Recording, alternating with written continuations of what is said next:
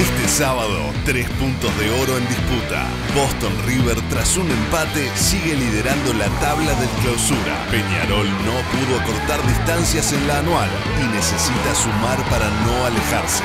Boston River Peñarol.